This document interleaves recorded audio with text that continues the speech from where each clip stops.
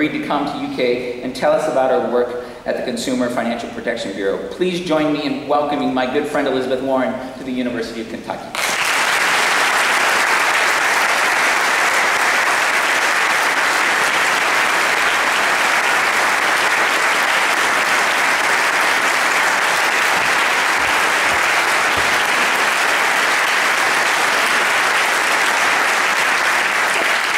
Thank you very much. I, I am delighted to be here. Uh, uh, it is it is amazing for so many people to spend uh, such a lovely evening inside.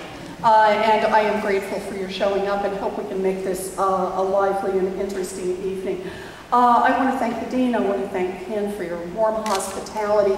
I also, now that I know that you may get paid for this in a bottle of bourbon, want my cut.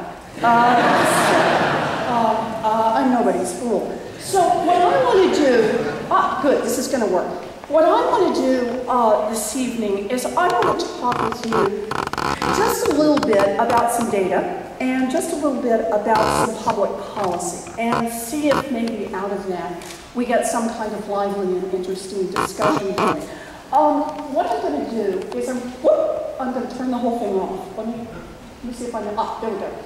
So here's sort of the thesis of, of what I'm going to talk about tonight. And that is that within one generation, the economics of the middle class in America has fundamentally shifted. And what I want to do is I want to talk about how it's changed. And then I want to talk a little bit about something that's very current for me and very important for me, and that is how that fits into this new consumer agency that we're trying to build in Washington. I, I want to be careful as I do this, like all good careful academics. I want to talk about some data about things that are. And there are places where you may want to draw causal inferences. And I think sometimes we can do that, and we can talk about that near the end.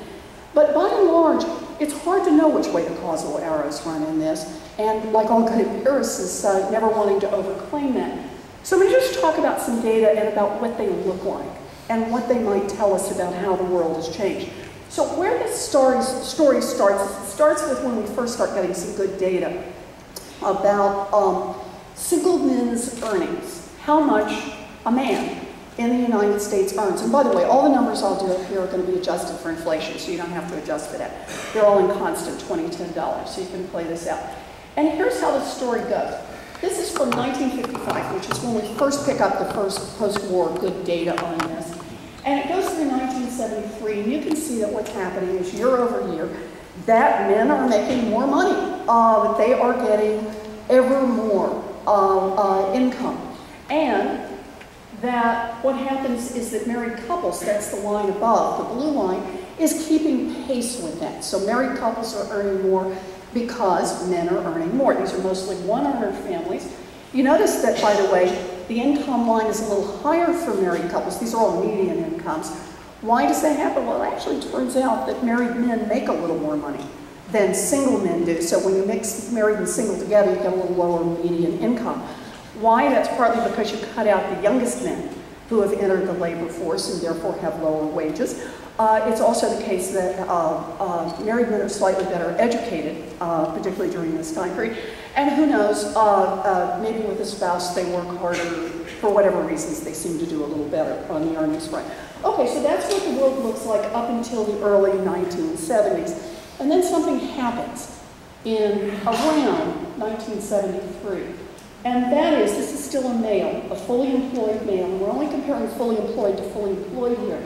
A fully employed male's wages just flatten out, and they stay flat all the way on through the present, effectively, statistically speaking. In fact, I put the peak there in 1973 in today's dollars. A fully employed male was making about 49 $485. And a fully employed male today is making about 49 164 In other words, about $321 less than his father was making a generation ago. So what happened to married couples? Well, married couples actually kept the growth line up, although you notice it's ragged, but they kept the growth line up. How did they keep the growth line up? We all know the answer to that. They started sending more people into the workforce. And they kept doing it over time, median kept rising. Um, this is the result of the shift that took place over one generation, from being a one-income family to being a two-income family. Now, the consequence of this, though, notice the difference. It's not only that one kept rising and when one flattened out, the difference back in 1955 between what married couples at the median were earning and what a single employed male was earning was about $2,500 in today's dollars. The difference by the time you reach 2009 is $22,500. So notice a much, much bigger gap. And that brings me to the first conclusion here, and that is, how have household finances changed significantly? Well, the first one is the income composition shifted. So every time from now on you're reading the New York Times and you see one of these things that says household income and household income has continued to go up, remember, it continued to go up for two very different reasons. Before the early 1970s, it went up because a fully employed male earned a lot more money. After the 1970s, it went up only if they could put two people into the workforce. Now, why would that composition matter, the shift in the composition? As long as income goes up, why would anybody care? Well, let me just throw out two or three ideas you might want to think about. One is a cost idea. Um, how much does it cost to produce one income versus how much does it cost to produce two incomes? That is, if this is a couple, for example, with children, childcare now has to enter the equation in order to produce that continually rising income. Uh, transportation costs, lunches, clothes, all the things that go into putting two people into the workforce. It also changes the risk composition of the family. Um, that family that we were looking at a minute ago, up on the blue line, has a very different risk composition by the time you hit the 2000s than it had back in the 19, early 1970s. And that is they've lost the backup worker uh, what's known as the added worker effect. So one of the things that labor economists have studied for a long time is that when the primary worker is out of work, what's one of the consequences? And that is the backup worker, if it's a married couple, goes into the workforce. Uh, the result of that is that, well, with a combination of unemployment and a second income, you've at least got a chance. The dip is not quite so low.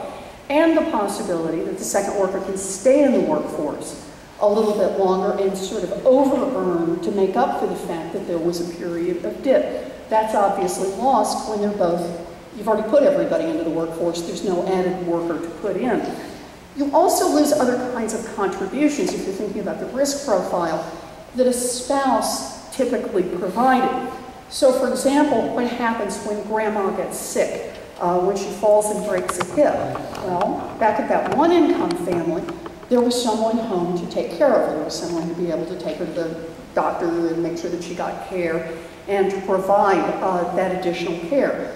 When they're both in the workforce full time, when that other member of the family gets sick, one of the consequences turns out to be that it has either an income impact, that is, somebody's got to quit work in order to be able to take care of this other person in the family, or an expense impact, that is, you've got to hire somebody to be able to come in and and take care during that time period. Same sort of thing when we're talking about children who are sick.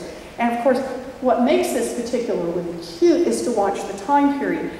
These occur at the very same time that one way that we accomplish savings in the healthcare field is to change how long people stay in the hospital